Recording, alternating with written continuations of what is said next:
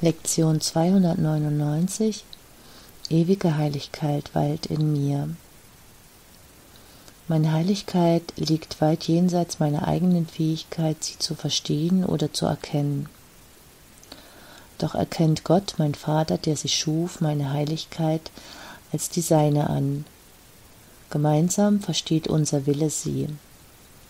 Und gemeinsam erkennt unser Wille, dass es so ist.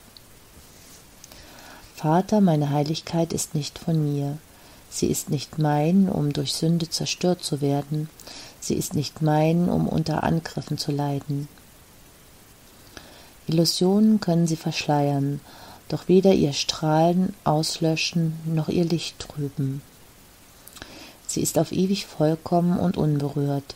In ihr werden alle Dinge geheilt, denn sie bleiben so, wie du sie schufst und ich kann meine Heiligkeit erkennen, denn die Heiligkeit selbst hat mich erschaffen, und ich kann meine Quelle erkennen, weil es dein Wille ist, dass du erkannt wirst. Ihr seid wahrhaft gesegnete Wesen und ich bin der, den ihr als Jesus kennt. Und es ist wichtig für euch zu verstehen, dass das absolut wahr ist.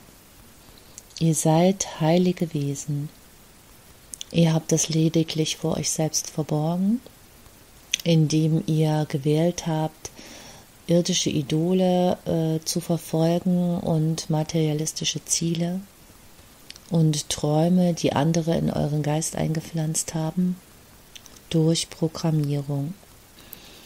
Ihr alle seid in dieser Gesellschaft tief programmiert worden und ihr alle, ihr alle jagt nach Dingen, äh, die euch diese Programmierung äh, erzählt haben, also von denen sie euch erzählt haben, dass es euch das glücklich machen wird. Niemand hat euch jemals erzählt, dass eure Heiligkeit das ist, was euch wirklich glücklich machen wird. Und es ist eure Verbindung mit dieser tiefen inneren äh, Heiligkeit, die euch das bringen wird, was ihr sucht. Wenn ihr Dinge kauft und hin und her erhetzt und versucht, die Forderungen des Egos zu erfüllen.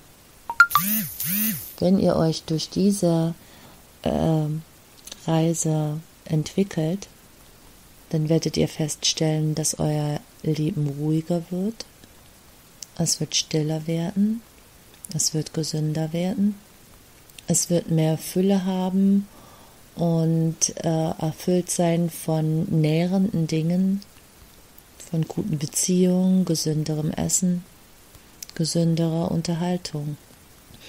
Aber wenn ihr durch diese Reise geht, könntet ihr euch so fühlen, als ob ihr die Welt verliert. Aber tatsächlich verliert ihr nicht die Welt, so wie ihr sie jetzt seht, sondern ihr erhaltet den Himmel.